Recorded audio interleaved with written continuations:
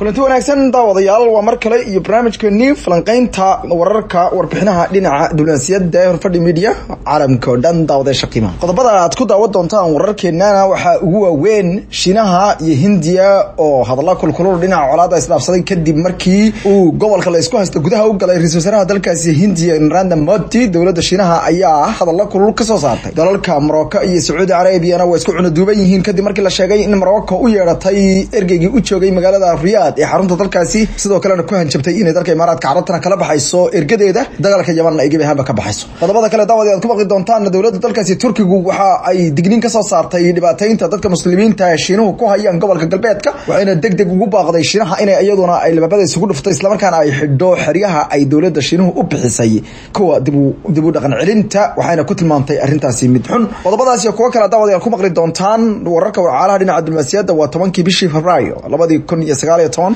waa maalinimo axad ah. Waa markale barnamijkeena falqaynta dunida warbixin dhinaca diblomaasiyadda daawadayaasha qiimaha leh barnaamijkii ku saabsanaa dhinaca khayraadka iyo weliba arrinta shirka magaalada london iyo warbixinihii ku saabsanaa arrintaasi daawadayaasha qiimaha leh dib ayay u dhacday. Maanta isla markaana dib aydi ka soo sheegi doonaa haddii aan idmo in goorta aad daawan doontaan. Daawadayaasha qiimaha leh aan ku siqo wararka iyo warbixinaha dhinaca diblomaasiyadda gaanka gan caalamka oo dhan isla markaana aan ugu horeysiiye hogaamiyaasha maraykanka iyo waqooyiga korea ayaa ku ballansan magaalada xarunta u ah dalkaasi vietnam ee la yidhaahdo hanoi in ay ku shiraan toddobiyo labaatanka bishan ilaa iyo sideed labaatan. Shirka halka maalin qaadan doona ayaa madaxweynaha dalka maraykanka donald trump waxa uu kaga dhawaaqay bartiisa twitter-ka ee uu aalaaba ka shaaciyo kulamada iyo weliba go'aamada noocan oo kale madaxweyne mr trump ayaa sheegay in shirka ka dhici doono magaalada hanoi. Ee xarunta dalkaasi vietnam ama magaalada caasimada ee dalkaasi vietnam ay tahay ayuu yihi mid kale oo isku day ah oo uu ku doonayo in uu kaga hortago in dagaal dhinaca hubka nuclearka la isku adeegsado uu dunida ka soo degdego ama uu si ciyoowa u dhaco. Waxa uu yihi wakiilkayga iyo wakiiladayadu wuxuu yihi maraykanku waxay hadda ka soo dhaqaaqeen buu yihi dalka waqooyiga korea waxayna kadib wuxuu yihi kulamo wax ku oola ama waxtar leh oo ay yeesheen. Waxaana taasoo daba socota buu yihi shirkii ay hogaamiyaasha ku yeesheen. Buu yihi magaalada singapore ee jasiirada singapore sannadkii hore. Haatan waxa ay noqdeen ayuu yihi wadahadalada kuwa waxtar leh wax ku oola. Waxaana u diyaar garoobana ayuu yihi wadahadlo kale oo dhinaca diblomaasiyadda oo labada dala wuxuu yihi wakiiladaydu waxa ay la yimaadeen ama la galo yimaadeen buu yihi go'aamo waaweyn. Waxaana rajeynaya ayuu yihi in aan la yeesho shir kale oo wax ku oola hogaamiyaha d b r k ee kim jon un waxa uu ka dhici doonaa buu yihi magaalada hanoi ee dalka vietnam febraayo bishu markay tahay waa bishan labaad toddobiyo labaatankeeda iyo sideed labaatankeeda. Waxaan sugayaaba waxaan sugayaaba waxa weye inaan arko. Ki gudoomiya kim jon un oo aan aaminsanahay ayuu yihi in aanu wax waxtar ah waxtar u ah dhinaca nabadgelyada aanu sameyno wasaaradda arrimaha dibadda dalka maraykan ama state departmentiga ayaa iyaguna war qoraala ay soo saareen. Waxay sheegeen in ergegooyga ergeyga gaarka ah ee maraykanka u qaabilsan dalkaasi. Waqooyiga korea uu ka soo tegey ama uu dib uga soo kala jiray magaalada pyongyang ee xarunta dalkaasi kadib markii uu saraakiil sarsare oo uu ku jiro hogaamiyaha waqooyiga korea ay kulamo la yeesheen islamarkaana haddeer uu ku sugan yahay dalka koonfurta ee magaalada xarunta u ah sool waxa uu sheegay in d p r k uu kula soo kulmay ergegooda gaarka ah. Ninka stephen pigan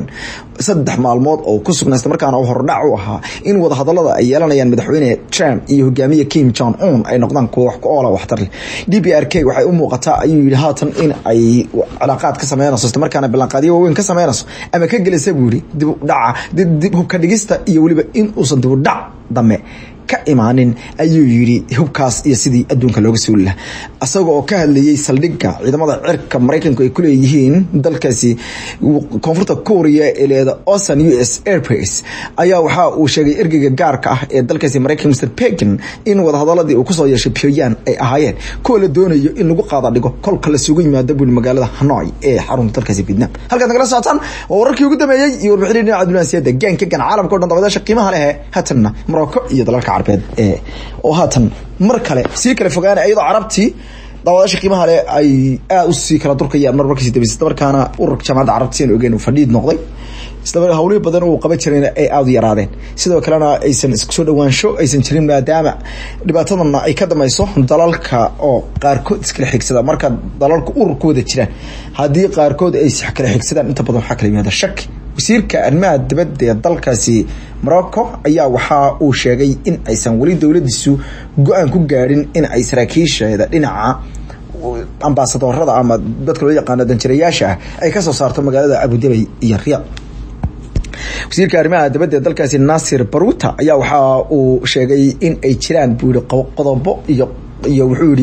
wuxuu ugu yeedhay suryooyin dhinaca diblomaasiyadda oo dalkiisa uu adeegsado kolka uu doonayo inuu arrimo noocaas oo kale jaangeeyo ama arrimo noocaas oo kale uu ku dhaqaaqo. Dalka morocco waxa uu cadeynaya ayuu yidhi halka ay xaaladan hadeer ay taagan tahay arrimaha ku saabsan ayuu yidhi in aan go'aan ka gaadhno dib u soo saarista ama dib u soo daabulista buu yidhi. Saraakiisha iyada dhinaca diblomaasiyadda ama safaarada ah safaaradaha ah ee noo fadhiya weli magaalooyinka xarun xarumaha ah ee ka mid tahay riyaad alaaba waxaan u marnaa bui wariiqooyin dhinaca diblomaasiyadda isla markaana warbaahinta maraykanka ma adeegsano tan ayuu uga jeeda wakaalada wararka a p ee dalkaasi maraykanka oo horey u daabacday in ay ogaatay ama aragtay warqad go'aana oo ay dowladda dalkaasi morocco go'aan ugu gaadhay in ay safiirkeedii u joogay magaalada riyaad ay ka saarto. Waxaase ay uu u sheegay wakaalad wararka ah oo iyaduna laga leeyahay dalkaasi russia oo la yihahdo sputnik oo uu la hadlayay wasiirka arrimaha dibadda ee dalkaasi nasir baruta. Wuxuu yidhi waxa kasta oo ku saabsan go'aanka ay gaadhayso rabaad waxay noqon doonaan kuwo markaasi ciyow ku dhaca. Isla markaana dhawaan aada baqashaan arrintaase xaqiiqda ayaa waxaa warbaahinta dalkaasi sacuudi carabiya uu ka mid yahay tvga alcarabiya ayaa waxa uu tabinaya in goor hore oo toddobaadkii hore ah dowladda dalkaasi ay u yeedhatay safiirkeedii u joogay magaalada riyaad isla markaana ay ugu yeedhatay la tashiyo. Dalalka ayaa la sheegay in cilaaqaadkooda uu aada iyo aada u xumaa safiirka morocco u joogay sacuudi carabiya oo la yihahdo mustafa al mansuuri ayaa loo yeedhay ayaa la yidhi waxaa la xaqiijiyey in wadahadallo ay mareen wadahadallo ay la yeesheen madaxda. Waxaa warbixinta sidoo kale daabacay wargeyska la yihahdo wal news ee uu ka soo baxa dalkaasi morocco gaar ahaan magaalada rabaad baraha bulshada ee dalkaasi ayaa waxaa la sheegaya in ay indhawataba xasarad weyn ay u dhexaysay dalalkaasi. Inta badanna waxaa la sheegay in arrimahan ay soo bilowdeen ama dalalkan ay khilaafaadkooda soo bilowday tan iyo intii dalkaasi dalkaasi morocco magaaladaasi caasimada iyo magaalooyinkaasi ay u tartameen koobka dunida ee sanadka labada kun iyo dhacaya saddex iyo lix iyo labaatanka kaasoo morocco ay isla sharaxeen dalal waqooyiga america ayaa waxa ay dowladaha carbeed oo sacuudigu ka mid yahay ay ka codeeyeen. Dalkan waxayna u codeeyeen dalalka saddexda ah ee waqooyiga america la isku yidhaahdo u s a mexico iyo canada kuwaasoo iyagu ku guuleystay koobka. Dalalka carbeed ay ka mid yihiin iskutaga imaaraadka carabta jordan lubnaan baxrain ciraaq kuwait iyo sacuudi carabiya ayaan morocco u codeen. Morocco ayaa markaasi wixii ka dambeeyey waxay soo saartay war qoraal iyadoo kolkaasi aada u ammaantay dalka qatar oo ay sheegtay in uu dhaqaalo xoogan ku bixiyey in dalka morocco la doorto laakiin morocco ay heli weyday boqorka dalkaasi boqor maxamedka lixaad ayaa dhowr jeer waxa uu ammaanay go'aamada dhinaca siyaasadeed ee dalkaasi qatar uu qaato wuxuuna cambaareeyey. Gebi ahaanba dagaalada ka soconaya dalkaasi yaman saacado kadib kolkii arrintaasi dhacdayna waxa uu u yeedhay islamarkaana uu uga yeedhay safiirkiisa magaalada siriyaad oo uu ka dhici lahaa shir ay dalalka dagaalka ka wada dalkaasi yaman xulafadooda ay ku shirayeen waxayna dhowaan dhimeen dhammaan ciidankii xilxaadka lahaa ee yaman ka joogay. Ugu dambeyntiina waxay sheegeen inay ka soo saarayaan ciidankooda inta ugu badan. Wasiirka warfaafinta iyo dhaqanka ee dalkaasi morocco maxamed al araj ayaa isaguna waxa uu sheegay in aysan dowladiisu aysan ka qeybgeli doonin. Dadaalada iyo weliba xasrada ka soconaysa dalkaasi yaman isla markaana ay dhimayso dhammaan ciidamada halkaasi ka jooga. Wasiirka arrimaha dibadda masaproti ayaa isaguna la hadlayay aljazeera ayaa waxa uu sheegay in dowladda dalka yaman ay go'aanka madmaysa ka qaadatay markaana ay bedeshay dhammaan ayuu yidhi in ay ka sii mid ahaato dhibaatada dadkaasi yaman ku sii socota. Wuxuuna horay uu u sheegay in aysan haba yaraatee dowladiisu aysan dooneynin inay cilaaqaadka ay la leedahay sacuudi carabiya uu noqdo mid buu yidhi maxalilid ah oo lagu maxaloolo ayuu yidhi go'aamada kale iyo arrimaha kale ay ku fulinayaan dalalka kale. Waa siduu hadalka udhigay daawadayaal weli fari kama qodnaa warbixinaha dhinaca diblomaasiyadda caalamka oo dhan daawadayaasha qiimaha leh ee aalaaba warar iyo xogo ayaa daawadayaal idii keena arrinta daawadayaal runtii waxa ay ka turjumaysaa sida dalalka carabta mar walba ay aad moodo inay iyagu usii kala fogaanayaan caalamka kale aad bay isugu soo dhawaanayaan. Hadday tahay waddamada qarbiga hadda waddamada e wataas dalka britain laga saari kara layahay ilaa hadeerto britain oo aynu garanayno saameyntii caalamka kulahay wataa ilaa hadeerto la fasixi kara layahay ee laysku haysto. Isla markaana brexit waxa loo yaqaano weliba dadkooda dimuqraadiyada ay u inay iyagu iskaga baxaan wataa la kari layahay waxay taas ku tusinaysaa in dalalku runtii ay carbeed ay mar markiis dabaysa ay sii kala fogaanayeen. Alaabana waxaad moodaa in dalka sacuudiga oo loo arkayay mar in uu noqon karo dalka isku soo dhaweey kara dalalka caalam islaam. Arrintaas waxaa aada u codsaday waagii ay qatar u gooyeen xiriirka dalkaasi dalkaasi turkiga madaxweynahooda dalka sacuudiga mar walba boqorkiisa ka codsan jiray inuu qaato hogaan oo odayeed islamarkaana arrintan oo kale uusan ahayn inay isaga ku shaambadowdo kala qaybin iyo tafraaruqa dadka muslimiinta oo diiniyan xaaraana macnaha hadeertana aad mooso inay dalalkii carbeed marba mar ka sii dambaysa sii kala go'ayaan waddamada